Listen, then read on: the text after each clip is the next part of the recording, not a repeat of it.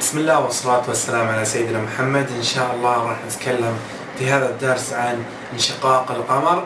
اكتشف العلماء في وكالة ناسا حديثا وجود شق على سطح القمر وهو عبارة عن فزع يبلغ طوله آلاف الكيلومترات.